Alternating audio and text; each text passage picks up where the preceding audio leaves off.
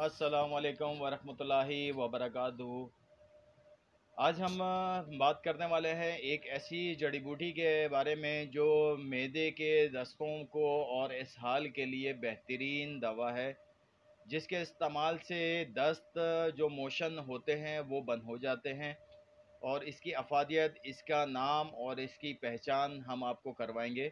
Video شروع کرنے سے پہلے میرا چینل کو سبسکرائب کریں، ساتھ ہی ساتھ میں بیل آئیکن کا بٹن دبا دیں تاکہ نئی آنے والی ویڈیو بر وقت آپ کے پاس موصول ہو سکے۔ اچھا جی بات کریں تو یہ ایک جڑی بوٹی ہے، جس کا نام ہے بیلگری۔ اور اس کی افادیت جو ہے بہت بہترین ہے، اور اس کا استعمال جو ہے دستوں کے لیے بہترین استعمال کیا جاتا ہے۔ اور جھاگ جیسے جو ہے موشن جو آتے ہیں، ان کو بھی یہ روکتا ہے۔ بیل گری کے بارے میں بات کریں تو یہ درخت جو ہے پندرہ سے بیس فٹ اونچا ہوتا ہے اور اس کے اوپر جو ہے پھل لگتے ہیں۔ پھل لگنے سے پہلے جب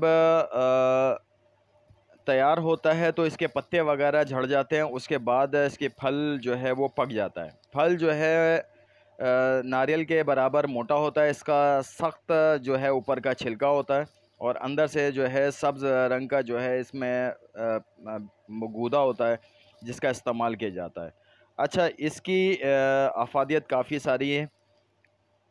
اور اس کی مزاج کی بارے میں بات کریں تو مزاج اس کا جو ہے گرم اور خشک ہے۔ اور اس کا پوز جو ہے وہ تلخ ہوتا ہے۔ اور اس کی خوراک جو ہے دو تولہ تا چار تولہ استعمال ہوتا ہے خشک کودا اچھا مقام پیدائش کی بات کریں تو یہ یو پی جنوبی ہند اور پاکستان وغیرہ میں یہ پایا جاتا ہے۔ اس کی افادیت کے بارے میں بات کریں تو یہ حابض ہے مقوی میدہ ہے جگر کے لیے استعمال ہوتا ہے دل کے لیے استعمال کیا جاتا ہے۔ اور دوسرا یہ دستوں کو روکنے کے لیے استعمال ہوتا ہے قابض ہے۔ پرانی پیچش میں یہ فائدہ کرتا ہے آنتوں کو صاف کرتا ہے آؤں اور خون کو بند کرتا ہے۔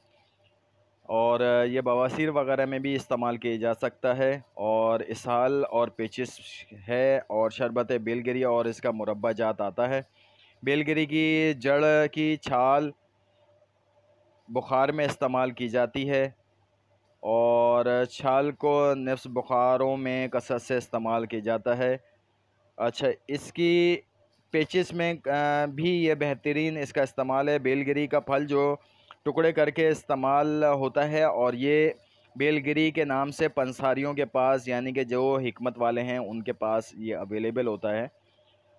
اور میری ویڈیو پسند آئے تو میرے چینل کو سبسکرائب کریں۔ ساتھ ہی ساتھ میں بیل آئیکن کا بٹن دبا دیں تاکہ نئی آنے والی ویڈیو بر وقت آپ لوگوں کے پاس موصول ہو سکے۔ شکریہ۔ اللہ حافظ۔